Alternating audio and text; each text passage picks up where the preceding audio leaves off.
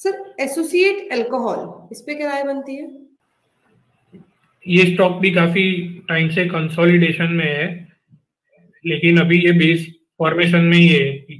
तो इसमें अगर आप ऐड करना चाहते हो तो ऐड कर सकते हो इन्वेस्टमेंट पर्पज से तो यहाँ पे अगर आप, अगर मीडियम टर्म के लिए भी लेते हो तो 525 का टारगेट है वहाँ पे।